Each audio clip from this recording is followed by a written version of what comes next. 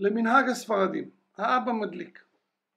האם כל בני הבית חייבים להיות נוכחים בשעת ההדלקה? זה לכאורה, זה גמרא מפורשת שלא צריך. גמרא מפורשת שלא צריך. הגמרא אומרת ככה, רבי זרע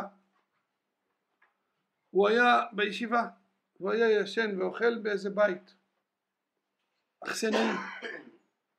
עכשיו הוא היה משלם לבעל הבית על כל דבר ודבר שהוא היה מוציא עליו, נותן לו אוכל, נותן לו מיטה, נרות, כל דבר.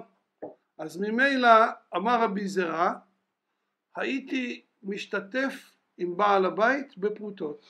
כמה עולה הנרות? בעל הבית מדליק, אני נותן לו, משתתף, אנחנו שותפים ביחד. עכשיו, אומר רבי זרע, אחרי זה התחתן. הוא התחתן, אז הוא היה אחר כך הולך לשם, הוא אכסנאי, לא הייתי מדליק בכלל, אני לא צריך להדליק יותר. למה? כי אשתו מדליקה עליו בתוך ביתו. אז מה אנחנו רואים כאן? אנחנו רואים אפילו שהוא לא נמצא בבית שלו, הוא לא נמצא ליד אשתו והוא לא רואה שהיא מדליקה, בכל זאת הוא יוצא ידי חובה, ככה ההלכה.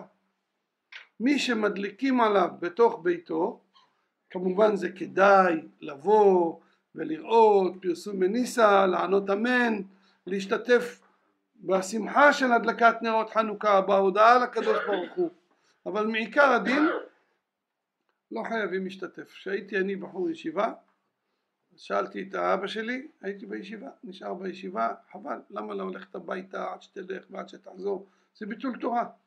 כיוון שאני יוצא ידי חובה בהדלקה של האבא שלי, אז ממילא הייתי נשאר בישיבה.